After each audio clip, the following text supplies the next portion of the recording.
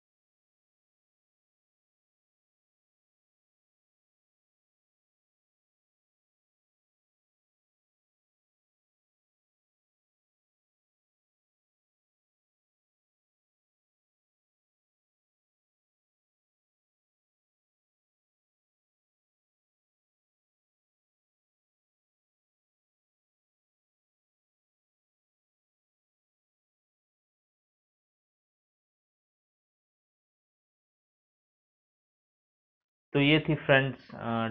M B B S course के लिए different deemed universities and colleges में क्या M C C second round of counselling में NEET all India rank cut off गई, क्या result हुई और फ़र्स्ट राउंड ऑफ़ काउंसलिंग में क्या रिज़ल्ट हुई थी? और इस वीडियो में दोस्तों इतनी ही अपडेट्स अगले वीडियो में कुछ और न्यू अपडेट्स के साथ हाजिर होंगे। अगर आपको हमारा ये वीडियो इन्फॉर्मेटिव हेल्पफुल अच्छा लगा तो वीडियो को लाइक करें, वीडियो को शेयर करें, चैनल को सब्सक्राइब करें और बेल आइकन, बेल नोटिफिकेशन पर ज़रूर क्लिक करें। और किसी भी तरीके की information update help counselling guidance paid counselling guidance के लिए अगर आपको काउंसलिंग के थ्रू अभी तक सीट अलॉटमेंट नहीं हुई है और आपको जानना है कि और कहाँ कहाँ मेरे पास आपके पास ऑप्शन बची है और कहाँ कहाँ काउंसलिंग में पार्टिसिपेट कर सकते हैं, जिसमें आपको अलॉटमेंट मिलने की चांसेस हों। तो इस टाइप की क्वेरीज के लिए किसी भी तरीके की जानकारी के लिए स्क्रीन पर दिख रहे इन नंबर्स पे या डिस्क्रिप्शन बॉक्स में दिए गए नंबर्स पे ज़रूर कॉल करें। Thank you